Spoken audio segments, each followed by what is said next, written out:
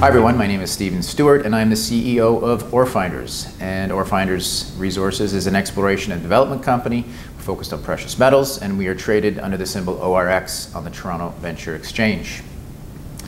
Today's uh, drill bits is going to be about our, our, I should say, our former Derlak property in Red Lake.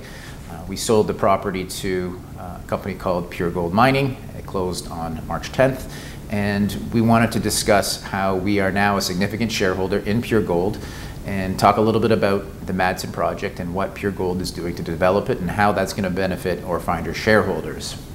So, as I said, we sold our Derlak property to Pure Gold, closed on March 10th, and as a result, uh, in terms of cash and shares, it was a $1.3 million total value 800,000 of which was in Pure Gold shares. That uh, works out to be just about 1.3 million shares that Orefinders now owns and controls of Pure Gold. We think that's significant because we think the Derlak, or excuse me, I should say, the Madsen mine is one of Canada's most exciting development projects and it's got a top tier team involved in developing it.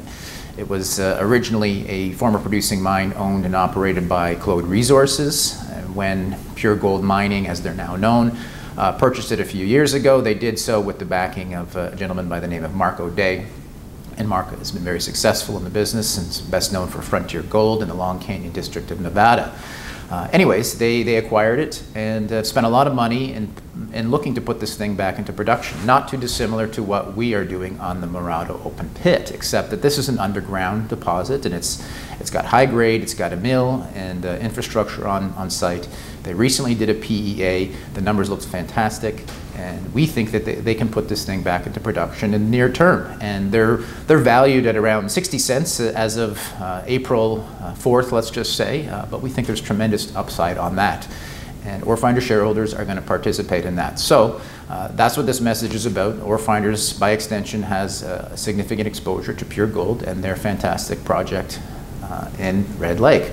So when you buy Orefinders, uh, not only are you getting the potential of our Mirado project, which we're working to put back into production, and as well the exploration upside on the North Zone, and, and the fact that we really only just, just uh, explored 5% of our land package, but you also get, uh, as a bonus, uh, exposure to, to, pure gold. So that's it for this episode.